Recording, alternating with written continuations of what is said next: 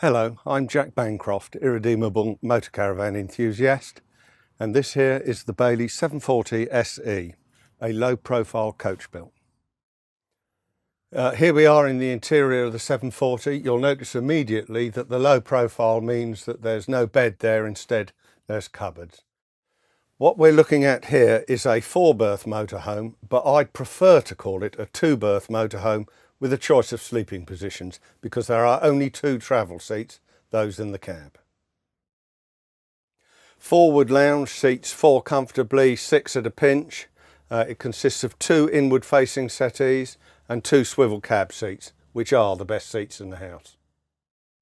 Moving rearwards, uh, amidships we have the galley, the kitchen, and it's split either side of the central aisle.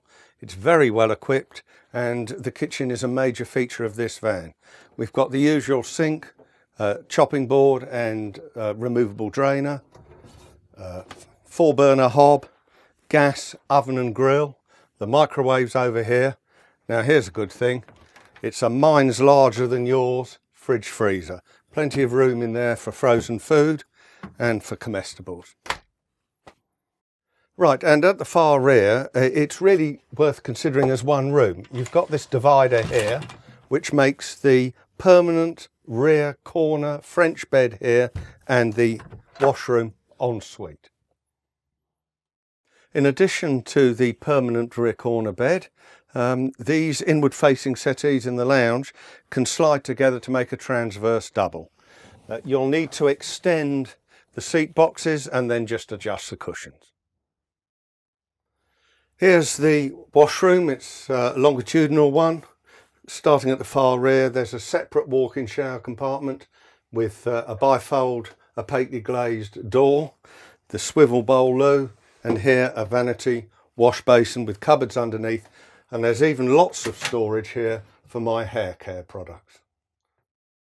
Underneath this Bailey motorhome uh, is a Peugeot Boxer cab with AL-KO low-line chassis extensions. It's a nice bit of kit. 130 PS engine, a six-speed gearbox, a cruise control and cab aircon.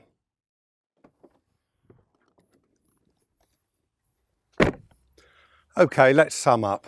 The 740 here is a two-berth low-profile motorhome. It's got a permanent end bed, a good-sized washroom and a front lounge. It's well equipped, it's at the right price point, and best of all, it's the Alutech body shell. Good method of construction, rigid, watertight, guaranteed for 10 years.